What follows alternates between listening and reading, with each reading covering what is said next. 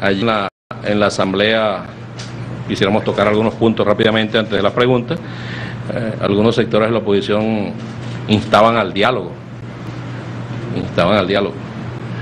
Yo creo que están retardados con el tema del diálogo en verdad, porque el diálogo lo estamos nosotros promoviendo bueno, desde que llegó el comandante Chávez a la, a la presidencia de la República. Pero no es el diálogo de cúpulas, de que los partidos políticos, las direcciones de los partidos se van a reunir a espaldas del pueblo, ¿no?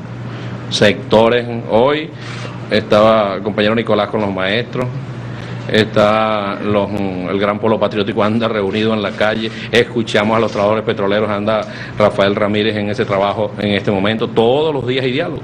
Y nosotros, inclusive el presidente Chávez, hizo un llamado de diálogo el 11 de, luego del 13 de abril, luego de regresar del golpe de Estado, eh, promovido y, dado por aquellos que ahora adoran esta constitución.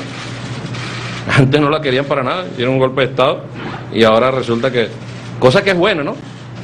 Cosa que es buena, pero que también es bueno que la interpreten tal cual está aquí, no a conveniencia de cada uno de ellos.